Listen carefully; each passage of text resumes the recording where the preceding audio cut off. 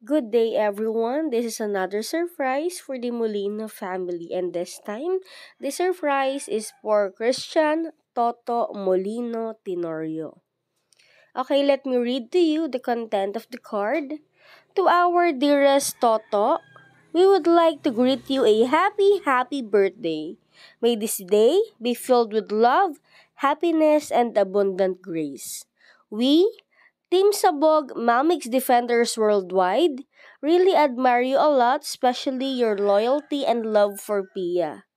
Yung tipong napapasana all na lang kami. Sana all, may Toto Mulino Tenorio.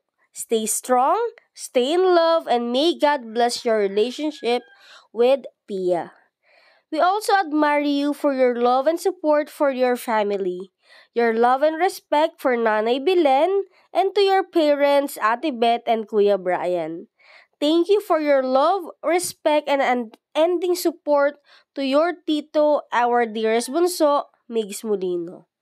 Congratulations also and more success in your vlog. Team Sabog will always be here to support you and your family.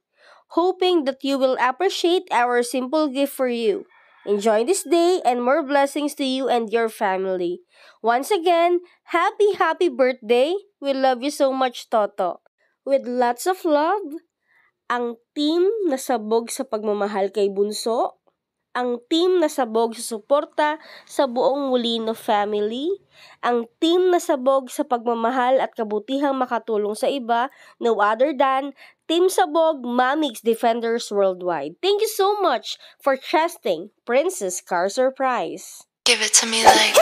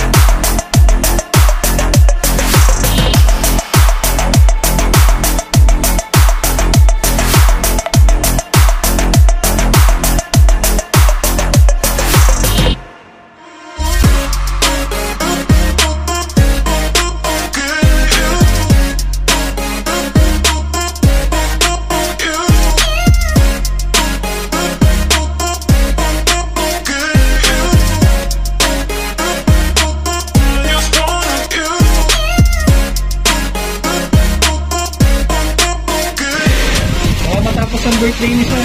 Magkakasama sila.